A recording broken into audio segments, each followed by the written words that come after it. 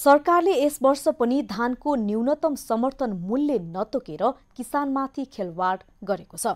आपूर्ति मन्त्रालयले गत महिनामा नै धानको न्यूनतम समर्थन मूल्यका लागि मन्त्री परिषद बैठकमा प्रस्ताव पेश गरेको भए पनि मन्त्री परिषदले प्रस्ताव फिर्ता पठाएको आपूर्ति मन्त्रालयले जनाएको छ।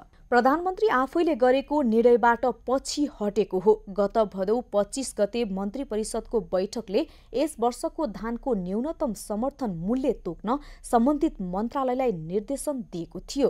तर मन्त्री परिषद बैठकले गत वर्ष जस्तै यस वर्ष पनि धानको मूल्य नतोकी प्रस्ताव फिर्ता पठाएको आपूर्ति मन्त्रालय संस्थान महाशाखा प्रमुख उर्मिला केसीले जानकारी दिइन्।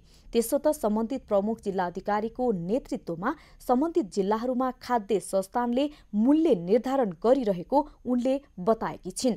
गत वर्ष पनि खाद्य संस्थानले नै मूल्य निर्धारण गरेको थियो।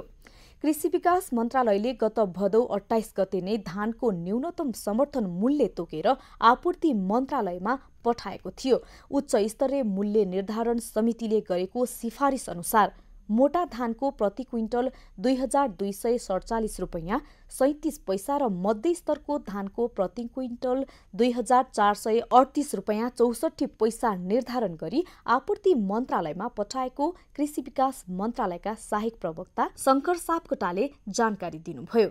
सरकारले हरेक वर्ष धान लगायत कृषि उपजको न्यूनतम मूल्य तोकिने बताउँदै आएको छ तर कार्यान्वयन भने हुन सकेको छैन।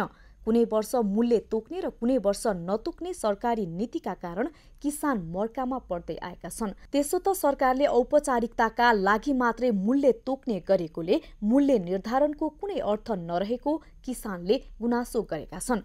किसानले बाली लगाउनु अघि नै सरकारले धानको मूल्य निर्धारण गर्नुपर्ने अवस्था भए पनि किसानले धान बिक्री गरिसकेपछि मात्रै मूल्य निर्धारण गर्ने गरेको छ। सरकारले समयमै धानको न्यूनतम समर्थन मूल्य नतोकिदिँदा भारतीय बिचौलियाबाट ठगिने क्रम बढेको छ।